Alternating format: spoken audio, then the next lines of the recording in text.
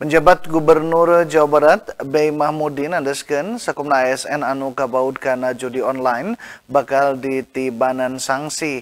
Di sagiringan eta pihak nage bakal nyorang koordinasi jeung pemerintah puseur patali jeung tareka lebah ngungkulan pasoalan ASN anu ilubiung dina prak-prakan judi online.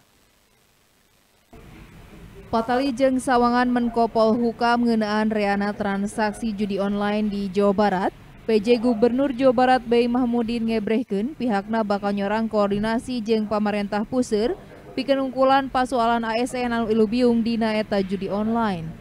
Bey nandeskeun ASN anu kabaud kana judi online bakal ditibanan sanksi lantaran patali jeung integritas. Ini kan tidak hanya masalah Jabar, masalah nasional.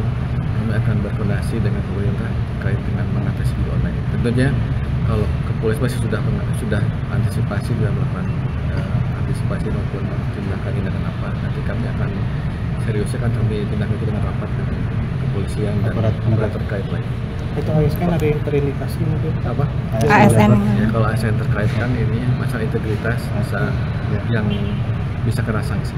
Oh, jadi Samemehna Menko Polhukam ngebrehkeun provinsi anu jumlah pemain judi online na pangreana nyaeta Jawa Barat kalauan jumlah transaksi koma delapan triliun.